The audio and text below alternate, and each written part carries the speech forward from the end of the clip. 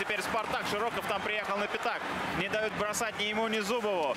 Зубов вернул на синюю. Зубарев оттуда. Попал в Никонцева. Никонцева, да, попал момент такой. Я скажу, Беспалов два уже вообще таких голевых момента. А вот выручил. еще один. А вот теперь шайбу в воротах забивает трактор вторую. Ну, с другой стороны, конечно, человек же не может там бесконечно та- тащить. Два-то момента просто выручил. Давайте посмотрим. Ух ты, Бейлин. Беллин прям так, говорит, эмоционально отпраздновал взятие ворот.